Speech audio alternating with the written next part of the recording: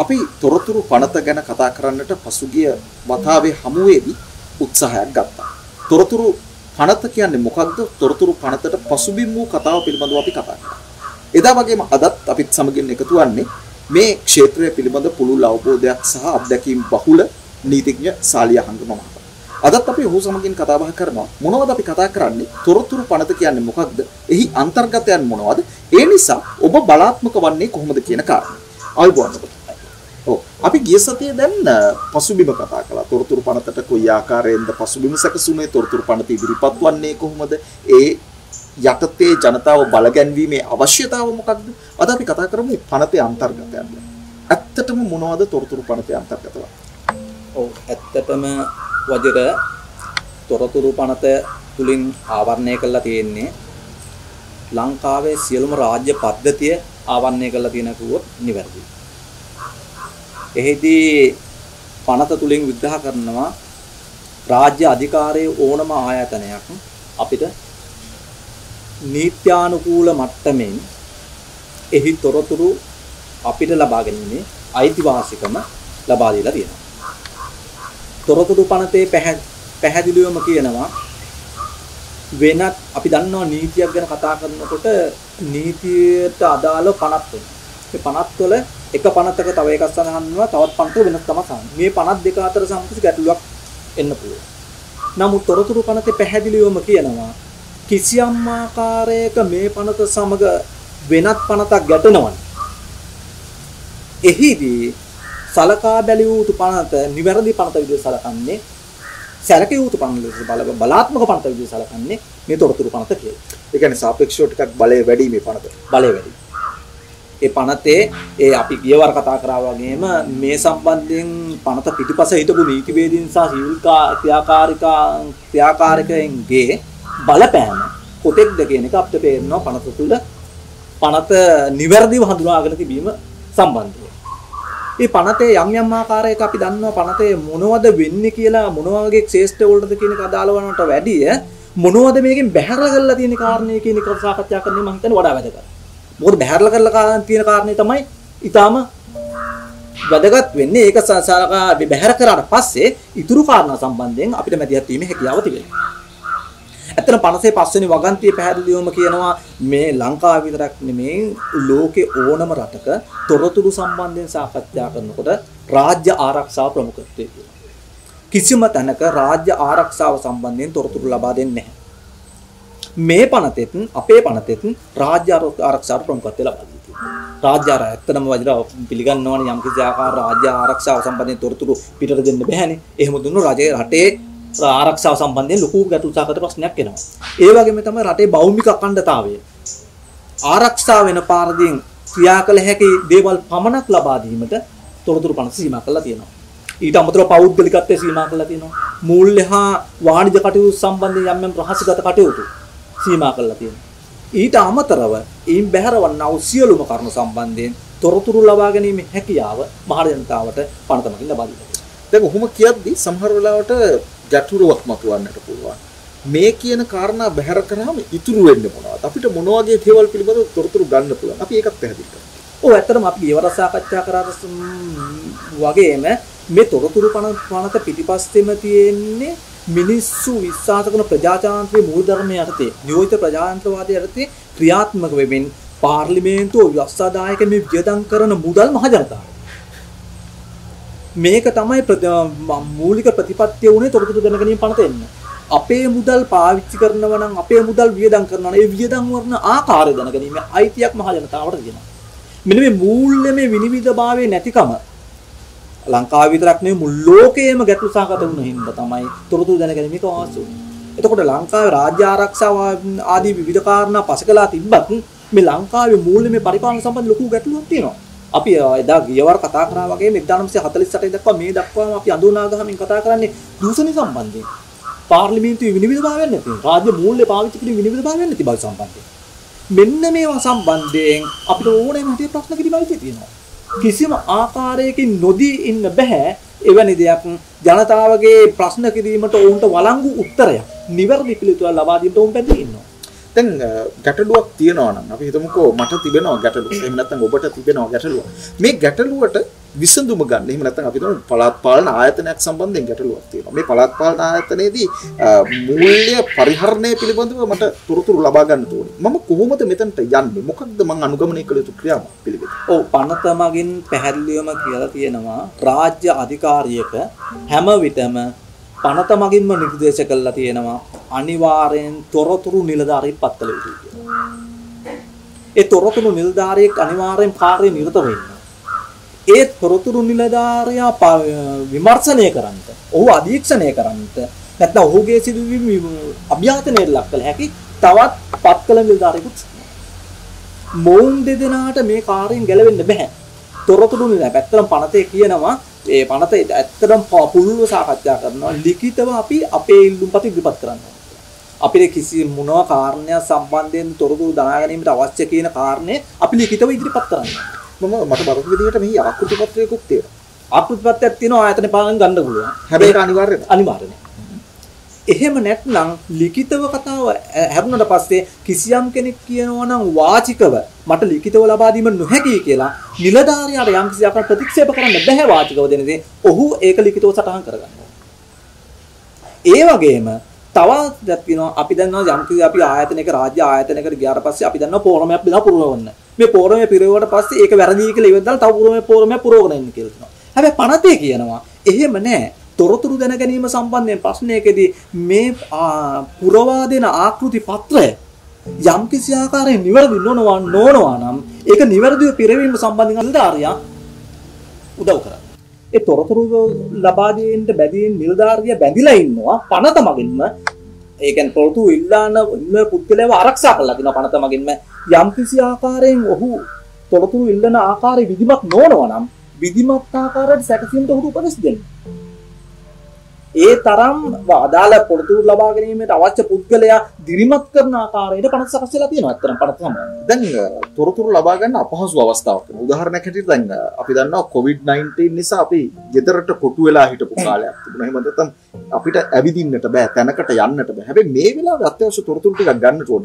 මේකටත් මම හිතන්නේ ප්‍රතිපාදන තියෙනවා මේ පනතයක්. නෑ, ඇත්තටම මම හිතන්නේ මේ COVID-19 වගේ මේ වගේ වසංගත තත්ත්වයක් වගේ කතාවක් රාජ්‍ය පරිපාලනය සම්බන්ධ ප්‍රශ්නයක් වෙනවනේ. මොකද රාජ්‍ය මුළු රටක් විතරක් නෙමෙයි ලෝකෙම කඩා වැටෙන අවස්ථාවක්. ඒ අවස්ථාවේදී පනතේ කුමනාවරණ තුනම ප්‍රායෝගිකව භාවිතා කිරීමේ ගැටලුවක් තිබෙනවා. එවැනි සාමාන්‍ය භාවිතාව තුළට පනත කිසිම ගැටලුවක් නැහැ හැම තැනින්ම රැකවන්න ලබා දෙනවා. හැබැයි පනතේ එක ගැටලුවක් තියෙනවා. මා දකින ආකාරය මම හිතන්නේ විවිධ ගැටලු ඇති. නමුත් පනතේ එක තැනක කතා කරනවා මේ තොරතුරු දැනගන්න ලබා දෙන්න බැරිලා ඉන්න නිලධාරියා යම් කිසි ආකාරයෙන් තොරතුරු ගැනීම ලබා දීම ප්‍රතික්ෂේප කරනවා නම් කමිෂන් සභාවට පුළුවන් විනය ක්‍රියාමාර්ගයක් ගන්න කියලා ආයතන ප්‍රධානයට කියන්න. හැබැයි ප්‍රශ්නේ තියෙන්නේ හැමදාම අපේ ප්‍රායෝගික භාවිතයේදී ලංකාවේ වෙන දේ තමයි මේ තොරතුරු ලබා දෙන නිලධාරියා. ඒ ලබා දෙනවද නැද්ද කියලා තීරණය කරන ආයතන ප්‍රධානියත් එක්ක සාකච්ඡා. අර හොරාගේ අම්මගෙන් පේන අහනවා වගේ වැඩක් නැවතත් කියනවා ආයතනයේ ප්‍රධානියට මේ සම්බන්ධ විනය පරීක්ෂණයක් ගන්න කියලා. යම් කිසි ආකාරයෙන් ආයතන ප්‍රධානිය විනය පරීක්ෂණයක් කරනවද නොකරනවද කියන ඔහු මත රැඳී සිටිනවා. ඔහු කරන්නේ නැත්නම් ඒට යාලට කියාමා කරනවා. එහෙම අඩුපාඩුවක් තියෙනවා තොරතුරු ලබා දෙන්න මේ නිලධාරියා සම්බන්ධයෙන් යම් කිසි රැකවරණයක් ඔහුට තියෙනවා නොදී ඉන්න. එහෙම ගැටලු සාකච්ඡාවක් තියෙනවා. ඊට පරිබාහිරව ගත්තට පස්සේ පණ තමගෙන් සම්පූර්ණ ආරක්ෂාව රැකවන්නේ ලබා දීලා. දැන් යම්කිසි පුද්ගලයෙකුට මේ පෝරමය ළඟට ගිහිල්ලා පුරවලා දෙන්න බැරි නම් විද්‍යුත් ක්‍රමවේද ඔස්සේ ඉදිරිපත් කිරීමේ හැකියාව තියෙනවා. ඔව් පණ තමගෙන් පැහැදිලිවම කියනවා මේ ලේඛන සම්බන්ධයෙන් විද්‍යුත් තැපාල මගින් භාවිත කරන්න පුළුවන්. කිසිම ගැටලුවක් නැහැ. ඒ සම්බන්ධයෙන්. ප්‍රශ්නේ තියෙන්නේ තොරතුරු ලබා දෙන නිලධාරියා තොරතුරුගෙන් ඉල්ලුවට පස්සේ දින 14ක් ඇතුළතදී ඔහු ඊට අදාළ උත්තරය දෙන්න බැඳලා ඉන්නවා. යම් කිසි ආකාරයෙන් ඒ උත්තරය සම්බන්ධයෙන් යම් කිසි ආකාරයෙන් දින 14ක් සමහරට අපේ පෞද්ගලික ජීවිතය නැත්නම් අපේ ආරක්ෂාව සම්බන්ධයෙන් යම් කිසි බලපාන සිද්ධිය සම්බන්ධයෙන් දින 14ක් අපිට ඉන්න බෑ. ඒ වගේ අවස්ථාවක දින දෙකක් ඇතුළත දැන් පැය 48ක් ඇතුළතදී අදාළ තීරණය කුමක්ද කියන එක. ඒ කියන්නේ සම්බන්ධ තොරතුරු දිය හැකිද නැද්ද කියන කාරණය ප්‍රකාශ කිරීමට ඔහු වැඳලා ඉන්නවා. යම් කිසි ආකාරයෙන් ඔහුගේ තීරණය ගැටලු සහගත නම් ඔහු ප්‍රකාශ යම් ගැටලු සහගත වෙන්නේ නැත්නම් අපි තොරතුරක් ඉල්ලා සිටිනවා තොරතුරු දෙන්න බෑ කිව්වොත්. එතකොට අපිට අපි ඉස්සෙල්ලා කිව්වා වගේම සමාවෙන්න ආයතනයේ ප්‍රධානියා වෙත නැත්නම් අදාළ බාර වෙන්න නිලධාරියෙක් ඉන්න ඔහු අධීක්ෂණයට පත් කරපු තොරතුරු නිලධාරියෙක් ඉන්නවා. ඒ අධීක්ෂණ නිලධාරියා විතර අපිට යම්කිසි අභ්‍යාචනයක් කරන්න පුළුවන්. ඒ අධීක්ෂණ නිලධාරියාටත් යම්කිසි ආකාරයකින් මේ අර උත්තරයම නම් ලැබුණේ. මං හිතන්නේ බොහෝ විට වෙන්න පුළුවන් දේ තමයි අධීක්ෂණ නිලධාරියාගේ එම උත්තරේ ලැබීම. මොකද හේතුව තමයි අධීක්ෂණ නිලධාරියාගේ උපදෙස් තමයි ක්‍රියාත්මක කරන තොරතුරු නිලධාරියාගේ. ඒ පනතේ ඒ දෙක වෙනම හඳුන්වා දුන්නත් දෙදෙනාගේ උත්තරේ බොහෝ විට එකක් වෙනවා ලංකාවේ ක්‍රියාපටිපාටි හැටියට. එතකොට යම්කිසි ආකාරයෙන් එහෙම වුණොත් මෙන්න මේ පනතෙන් ආවරණ ප්‍රධානම ආයතනය තමයි කමිෂන් සභාවක් ස්ථාවර කරන්නේ. මේ පනතේ සම්පූර්ණ තොරතුරු දැනගැනීමේ පනත දිවෙන්නේ කමිෂන් සභාව හරහා. මේ කමිෂන් සභාවට පැහැදිලිවම එදා මේ පනත ගැනීමට උත්සාහ දරපු සිවිල් අධිකාරිය ඊළඟ නීතිඥ සංගමේ නියෝජනයක් ඊළඟ ජනමාධ්‍ය නියෝජනයක් අනි පස් දිනකින් කමිෂන් සභාව ජනාධිපතිවරයා පත් කළ යුතු වෙනවා. අවුරුදු පහක් කාලය සම්බන්ධයෙන්. මේ කමිෂන් සභාවට ඔබට අභ්‍යාචනය කරන්න පුළුවන්. ඒ අභ්‍යාචනය කරාට පස්සේ ඒ අභ්‍යාචනය සෑහීමටපත් වෙන්න බැයි නම් ලංකාවේ ශ්‍රේෂ්ඨාධිකරණ ළඟ තියෙන අභියාචනාධිකරණ අභියාචනාධිකරණය දක්වා යෑමේ හැකියාව පනතමකින් ආවරණය කරලා තියෙනවා. මෙන්න මෙතරම් බලාත්මක පනතක් පිළිබඳවයි අපි කතා බහ කරමින් ඉන්නේ 2016 ශ්‍රී ලංකාවට හඳුන්වා දුන් තොරතුරු දැනගැනීමේ පනත පිළිබඳව. සුපුරුදු විදිහට අපේ සාකච්ඡාවේ ඉන්නේ නීතිඥ සාලිය අහංගම මහතා.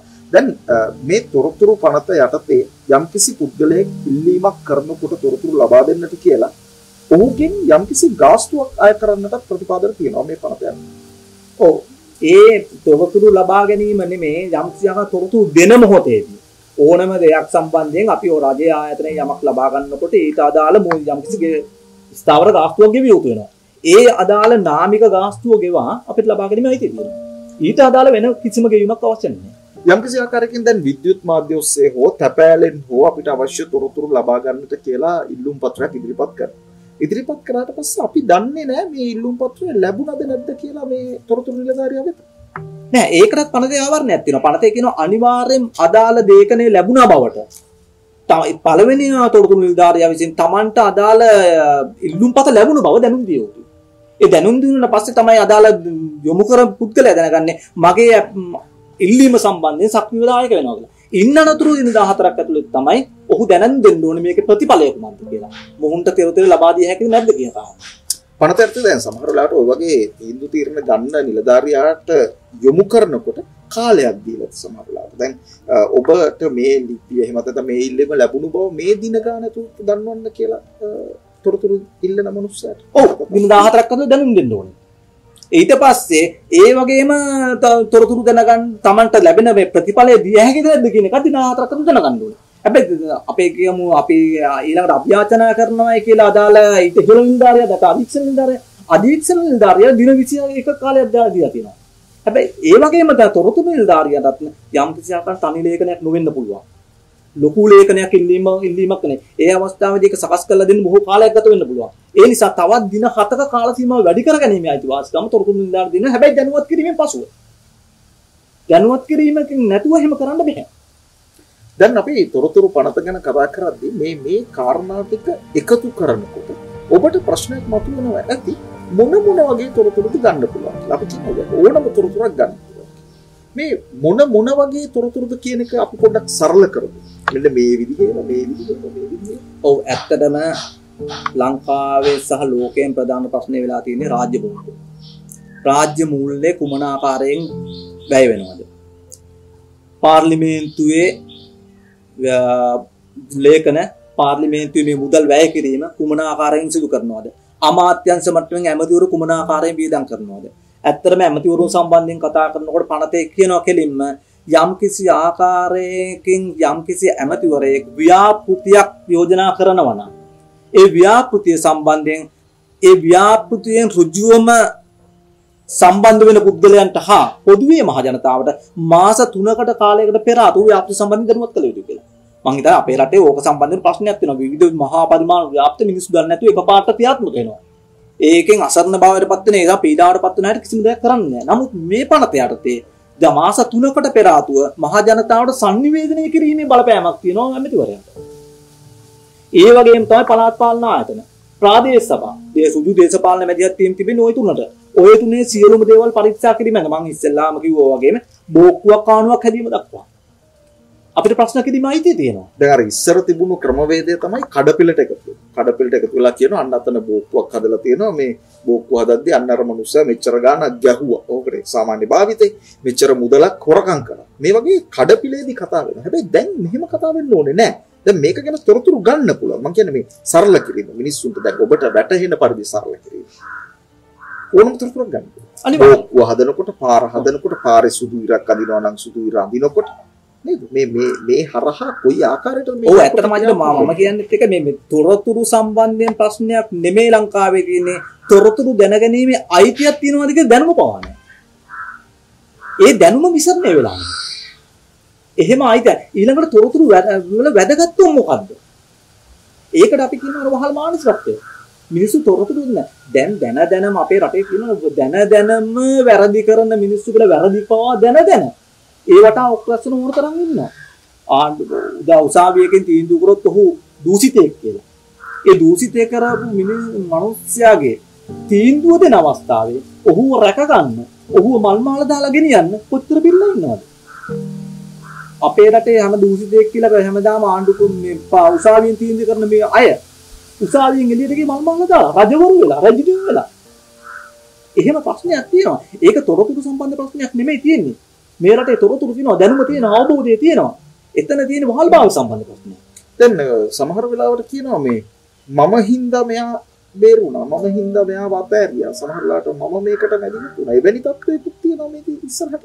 අපි මේ බොහෝ දේවල් විවෘතව කතා කරා ඔව් ඇත්තටම බොහෝ දේවල් විවෘත කිව්වට හැම දෙයකම සීමාවක් තියෙනවා.